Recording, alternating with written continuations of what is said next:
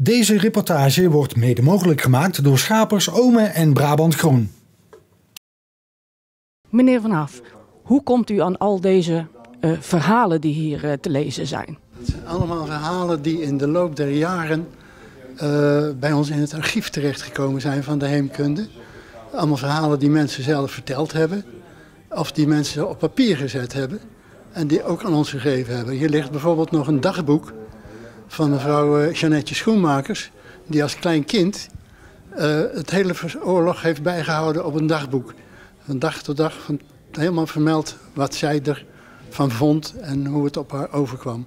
Er stond bijvoorbeeld een stukje in dat ze fietsen konden kopen voor 350 uh, gulden en een pak boter.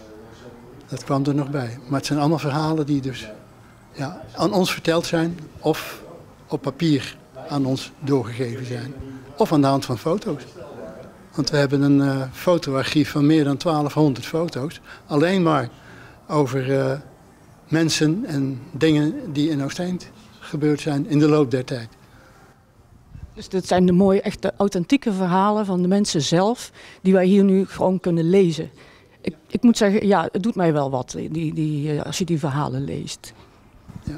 Nou, dat is iets wat wij van de mensen die hier komen ook horen. Van dit is uh, toch wel heel bijzonder.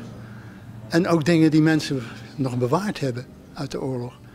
Dat ze zeggen van, uh, jee, er kwam gisteren bijvoorbeeld iemand nog met een riem. Uh, die, die hier ook ligt. En die riem, dat was een riem die van een Duitse soldaat is geweest. En die man die was ingekwartierd geweest bij zijn vader en moeder. Op de boerderij. En na de oorlog was die, een van die Duitsers teruggekomen.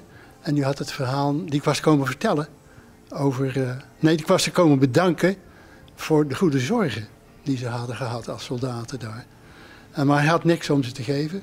Dus had hij alleen maar een riem bij zich. En die riem heeft hij gegeven aan de vader van deze meneer die die riem gaf.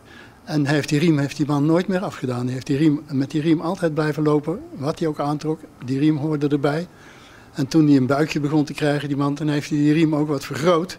Zodat hij toch nog passend kon worden gedragen worden. Ge gedragen worden, ja. Deze reportage werd mede mogelijk gemaakt door Schapers Ome en Brabant Groen.